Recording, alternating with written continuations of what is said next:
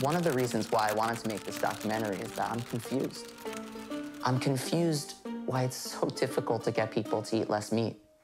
One of the first things anybody who starts to actually scratch the surface of the food system realizes is that this is really not a happy picture at all. I mean, we're kind of trapped in a food system that is very, very bad for us. No meat. What if no one ate meat? They produce less animals. Then the temperature would change. So what happens with people that you really love and care about just don't see this issue? Do you dismiss them?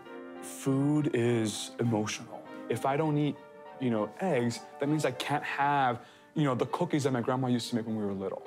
People like eating meat. So it's not just a matter of, oh, I hear information and then I go make a change. No one is saying, hey, Johnny, um, you got an A, so I'm gonna give you some broccoli.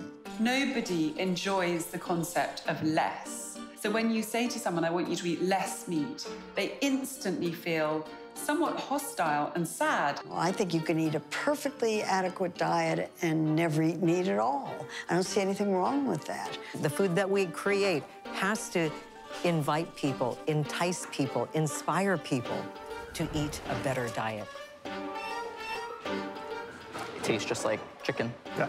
What What do you eat? I never heard of avocado Have you ever had an avocado? No. Have you ever had an I haven't.